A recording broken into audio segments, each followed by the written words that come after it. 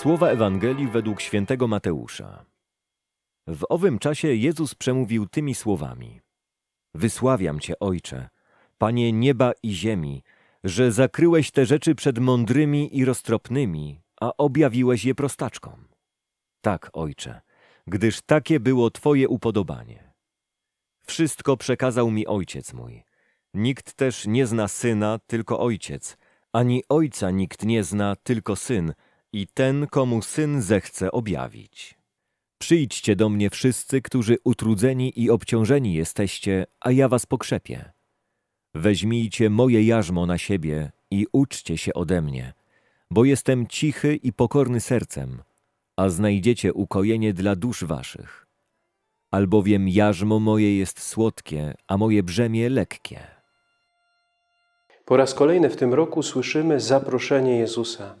Przyjdźcie do mnie wszyscy, którzy utrudzeni i obciążeni jesteście, a ja was pokrzepię.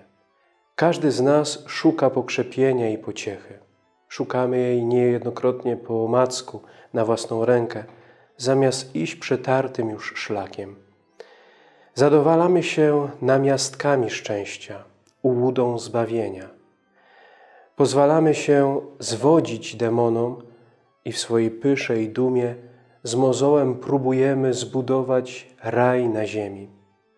Raj dla wybranych, kosztem tych, których wszyscy odrzucili.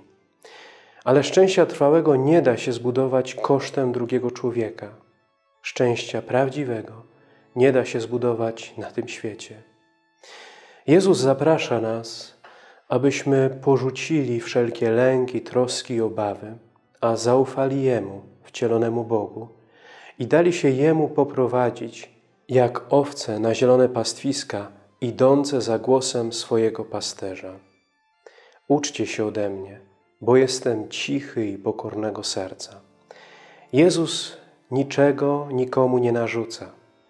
On proponuje, jeśli chcesz, pójdź za mną.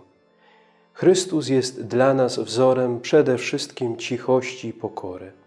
I chociaż na pierwszy rzut oka ten, kto jest pokorny i cichy i nie dopomina się o swoje, przegrywa, jednakże w ostatecznym rozrachunku Jezus zwyciężył, a wraz z Nim zwycięża każdy, kto z ufnością kroczy Jego drogą, drogą pokory i cichości.